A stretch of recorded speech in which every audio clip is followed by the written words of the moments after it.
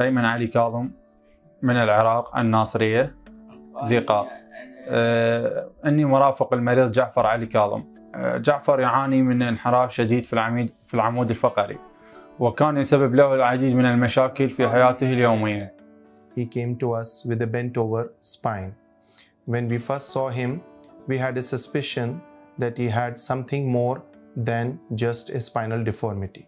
آه، أتينا إلى دولة الهند وكان في استقبالنا المترجمين آه، اللي من طرف اللجنة وتم أخذنا في اليوم الثاني إلى المستشفى لإجراء الفحوصات.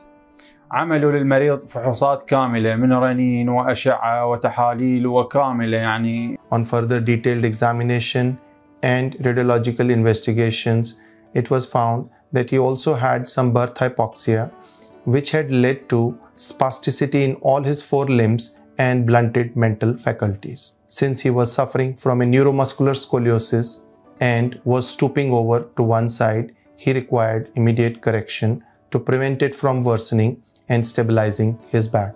We investigated him, clinically examined him. After getting all the MRIs and CT scan, we operated him under neural monitoring in general anesthesia with uh, posterior uh, instrumentation and deformity correction.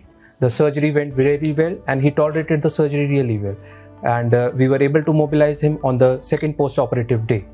التحاليل آه، دخلوا للعملية جعفر واستمرت عمليته عشر ساعات والح... ولله الحمد تمت نجاح عملية جعفر بنسبة 75% وإحنا صراحة ما كنا هذا متصورين هذا النجاح لخطورة وضع جعفر لأنه يعاني من انحراف زائد ضمور في الدماغ following which he recovered very well.